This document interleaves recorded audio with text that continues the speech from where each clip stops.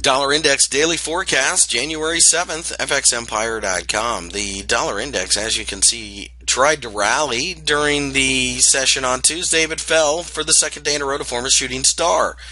With that, it appears that the market could pull back a little bit and uh, perhaps uh, try to find some support closer to 90. Actually, we'd like to see that kind of reload here.